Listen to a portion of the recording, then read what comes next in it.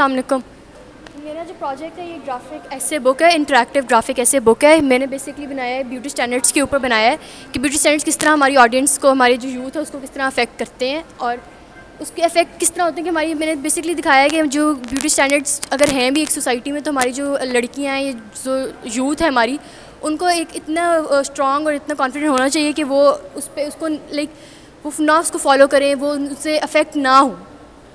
उसको बेसिकली मैंने इस तरह दिखाया है।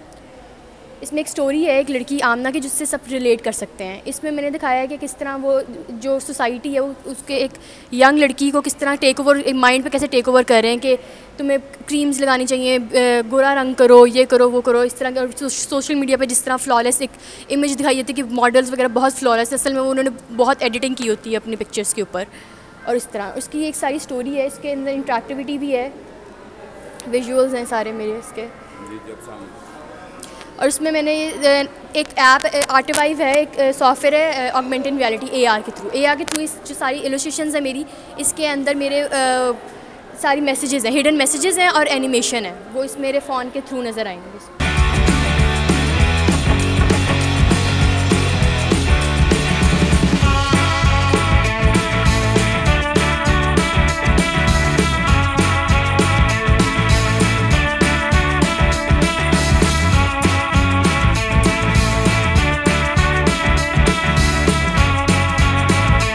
It's an e library based application design for children library complex जिसके अंदर फैंटेसी एंड मॉरल स्टोरीज़ हैं।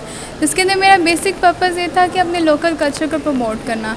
बिकॉज़ हमारे यहाँ पे जो ई बुक्स होती हैं, उसके अंदर बाहर का कल्चर दिखाया जाता है। उनकी ड्रेसेस दिखाया जाते हैं बट वाई मेरा एक क्वेश्चन था कि यहाँ का कल्चर यहाँ की ड्रेसें यहाँ का हमारा इन्वायरमेंट इसको क्यों प्रमोट नहीं किया जा रहा है इतना? तो मेरा बेसिक पर्पज़ यही था कि यहाँ के कल्चर को, पाकिस्तानी ड्रेसेस को फैंटेसी स्टोरीज़ अगर जो बच्चे देखते हैं और अपने आप को रिलेट करते हैं। तो मैं चाह रही थी कि बच्चे ये देखें कि यहाँ की अगर लड़की जैसे शलवार कमीज़ पहनी हुई है तो उसके पास मैजिकल पावर्स हो सकती हैं। वो करेज और ब्रेव हो सकती है, जैसे बाहर की लड़कियाँ होती हैं। और तो हम इसके लिए मैंने ई बुक्स जो है ना इलस्ट्रेट की है सारी।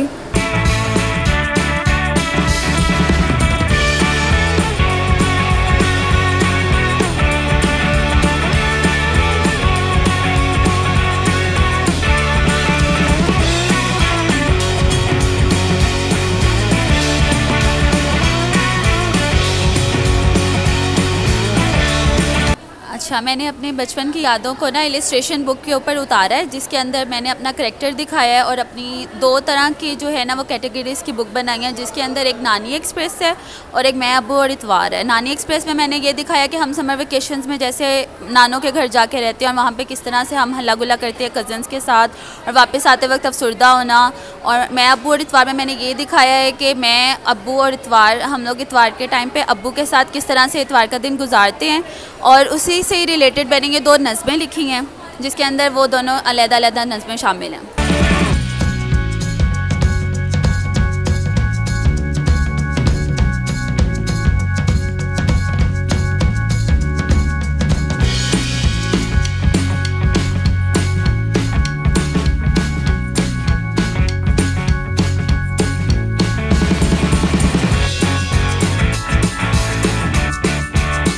अस्सलाम मेरा नाम रवीदा फातिमा है और ये मैंने थीसिस अपना राइवेंट्स अपनी एग्जिस्टिंग कंपनी पे किया है, जिसमें मेरी कस्टम इलस्ट्रेशंस और ये सारी वेडिंग स्टेशनरी इंक्लूडेड है। इसमें आप लोग कोई भी निकाह नामाज इन्विटेशन बॉक्सेस बिद बॉक्सेस और कोई भी कस्टम इलस्ट्रेशन मुझसे प्रिंट करवा सकते हैं। फर्दर ऑन मतलब मैंने अपने थीसिस में यही सब बताया है कि मैं अपने कस्टम इलस्ट्रेशन को वेडिंग्स में किस तरीके से आप लोग प्रमोट कर सकते हैं।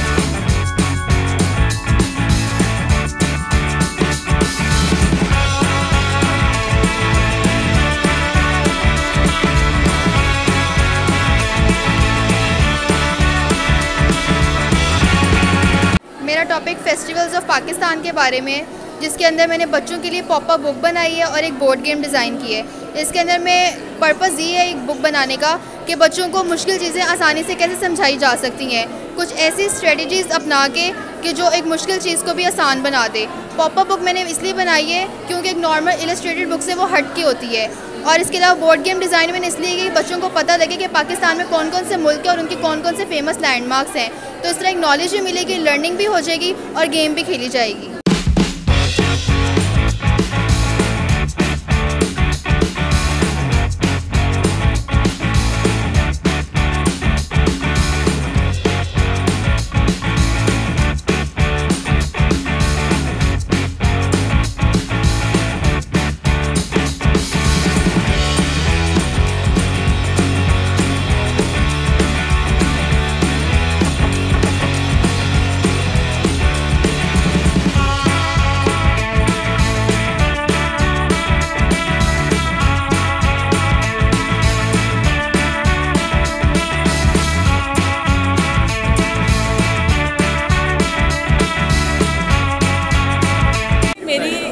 कैंपेन जो है ना, वो पाकिस्तान रेलवे पर है। मैंने पाकिस्तान रेलवे को 12 साल के बाद प्रमोट किए। जब वो इसको बिल्कुल रिवाइव नहीं किया जा रहा था, इसको कोई यूज़ नहीं करता था उस तरह से। ड्राइवर्स वगैरह को ज़्यादा यूज़ किया जाए, जबकि इतना बड़ा ट्रांसपोर्टेशन स्पेस है हमारा रेलवे स्टेशन जिसको दोबारा से ना रिवाइव करने के लिए मैंने ये पूरी कैंपेन डिज़ाइन की है। और मैंने जो टारगेट पॉइंट लिया है, वो उसकी नोस्टैल्जिया और जर्नी ऑफ़ मेमोरीज़ को जो है ना, मैंने पॉइंट किया।